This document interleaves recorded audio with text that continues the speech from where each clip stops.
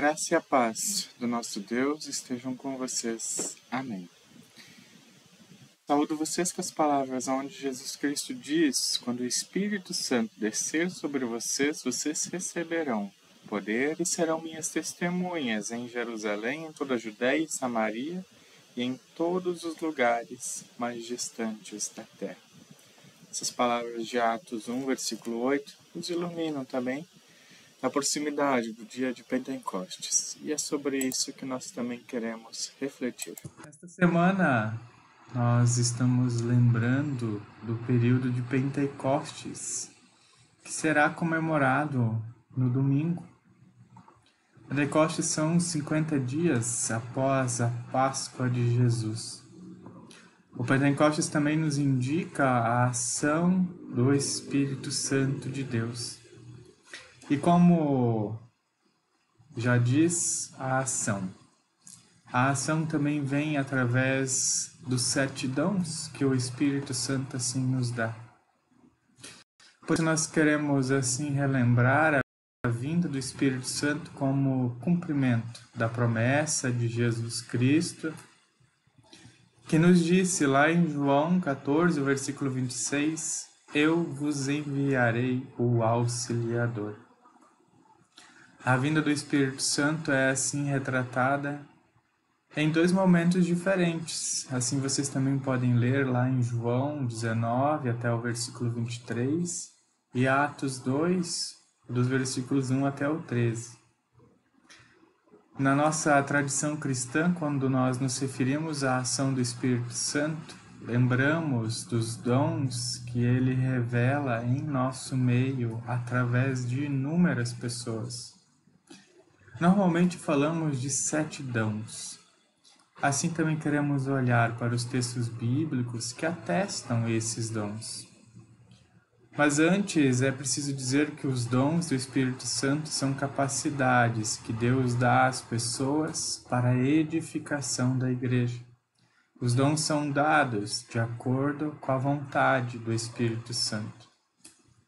Por isso, vários textos bíblicos enumeram vários dons que este Espírito Santo dá: palavras de sabedoria, palavras de conhecimento, fé, cura, milagres, profecia, discernimento de espíritos, variedade e dons de línguas, interpretação destas línguas, servir, ensinar, dar ânimo ou encorajar outras pessoas, contribuir com alegria e generosidade, exercer a liderança, misericórdia, administração, e evangelizar. O apóstolo Paulo anuncia que o maior de todos esses dons é o amor. Conforme lemos em 1 Coríntios 13, o versículo 13. Assim, os textos bíblicos nos lembram a diversidade de dons presentes na vida das pessoas que creem e confessam a Jesus Cristo como Senhor, Salvador, libertador e também fonte de vida.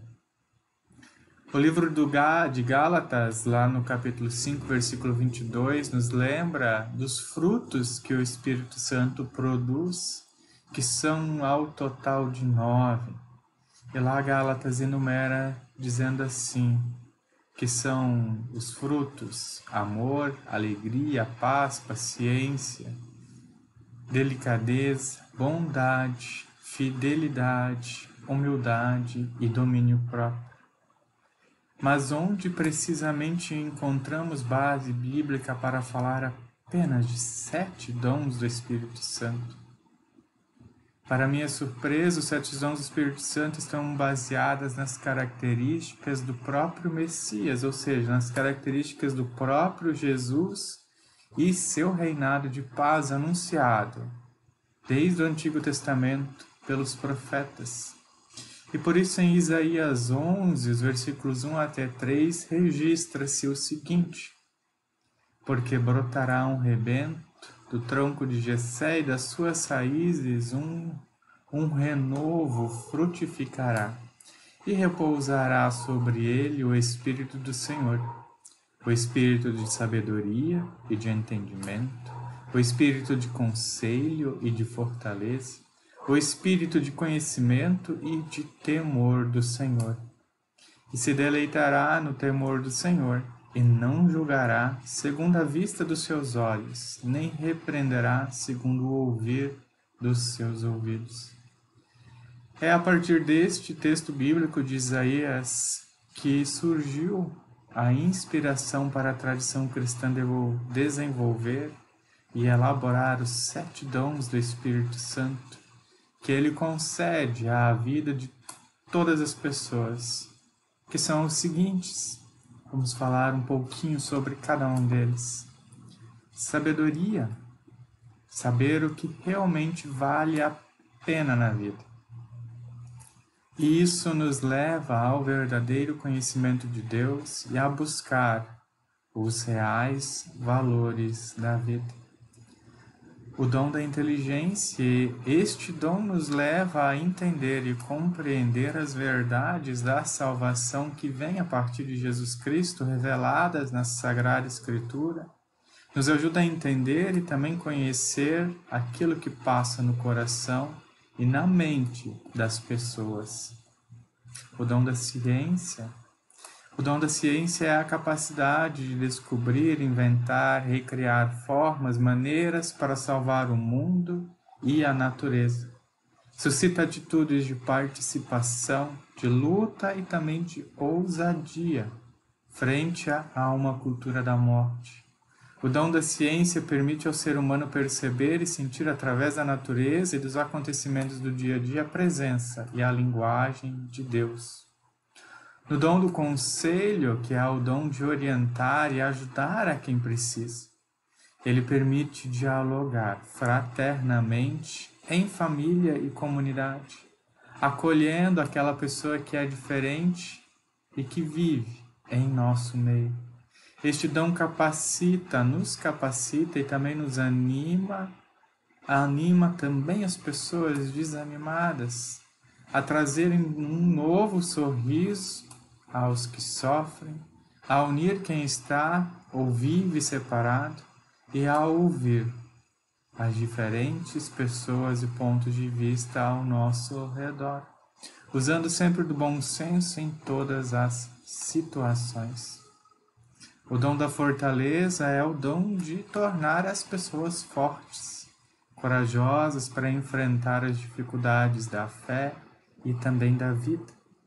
É o dom que anima a ter coragem para nadar contra a maré, animando as pessoas a assumirem sua própria personalidade e identidade neste mundo de tantas vozes e propostas nos mantém firme também, esse dom nos mantém firmes na proposta do Evangelho de Jesus Cristo, que é o caminho, a verdade e a vida.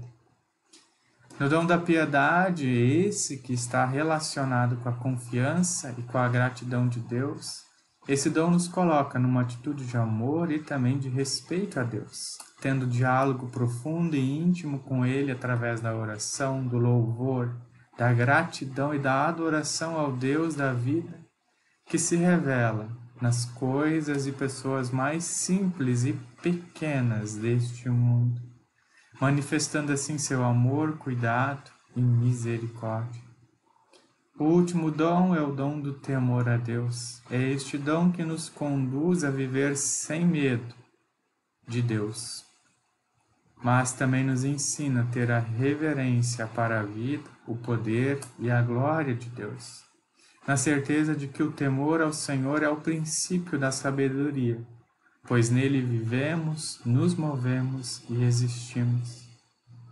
Ao final, é interessante observar que a tradição cristã estabelece sete dons. E assim também poderíamos nos perguntar ao porquê de um número sete. Bem sabemos que no contexto bíblico o número 7 significa universalidade, totalidade e perfeição. E este número está presente em várias passagens bíblicas, como os sete dias da criação, no livro de Gênesis, as sete igrejas, sete selos, sete trombetas, no livro do Apocalipse. Sabemos que os dons do Espírito Santo são inúmeros. Portanto, ao falar em sete, podemos dizer que recebemos todos os seus dons em plenitude, graça e amor. Os sete dons do Espírito Santo também nos ajudam a entender os planos de Deus na vida de cada pessoa.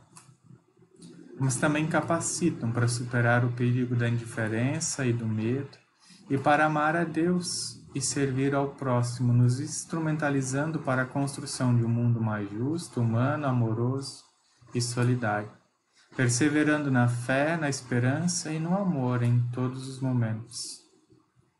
Que nesta semana, enquanto nós nos preparamos para o dia de Pentecostes, que possamos nos animar enquanto igreja, enquanto pessoas cristãs e nos alegrar com a diversidade de dons presentes no mundo, a fim de darmos um belo testemunho da nossa fé, sustentando nossa esperança e praticando o amor revelado em Jesus Cristo.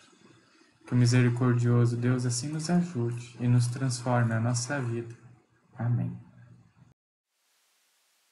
Queremos colocar também diante de Deus toda a nossa oração, nosso cuidado. E também lembro que no dia é gravado.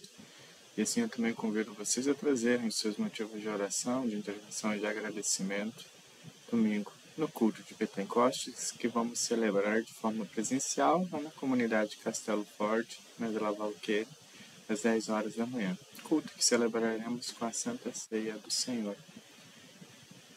Os espero lá. E nós oramos. Bendito Deus, que ensinaste os corações do teu povo fiel ao enviar a luz do teu Santo Espírito ao mundo, garante-nos agora o derramamento do Espírito Santo para que possamos julgar todas as coisas corretamente e também nos alegrar em seu conforto pelos méritos de Cristo na cruz, nosso Senhor. Senhor Jesus Cristo, Filho do Deus Divino, nosso irmão libertador, tu tomaste sobre ti os nossos pecados e carregaste a nossa frágil humanidade. Renova em nós os dons do teu Santo Espírito, a fim de que possamos dar testemunho do teu amor em nossos lares, em nossas vidas e em toda parte. Divino amor, acende a chama do Espírito de Deus no coração de cada um de nós, a fim de que possamos dar testemunho da tua misericórdia entre as nações realizar obras de compaixão, socorrer pessoas aflitas e proclamar o Evangelho às necessitadas e anunciar que o Senhor é bom. Senhor nosso Deus, oramos ainda pelas pessoas vítimas da catástrofe é, no Rio Grande do Sul. Oramos por todas as pessoas que necessitam da nossa oração. Oramos por aquilo que você guarda em seu coração, dizendo: Pai nosso que estás nos céus, santificado seja o teu nome. Venha o teu reino. Seja feita a tua vontade, assim na terra como no céu.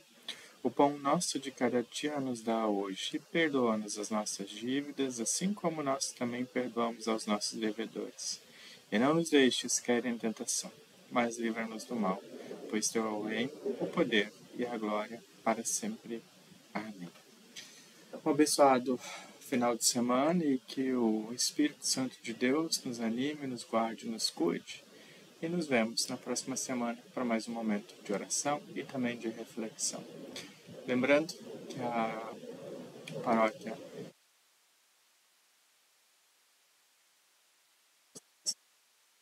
algumas situações relativas ao IPTU da Casa Paroquial em aberto e assim também procure alguém da diretoria para saber como você pode ajudar. Adote um boleto para que possamos assim também é, fazer o pagamento e sanar essa dívida junto à Prefeitura do Rio de Janeiro. Que Deus assim nos abençoe, nos guarde e nos proteja. Um abençoado final de semana.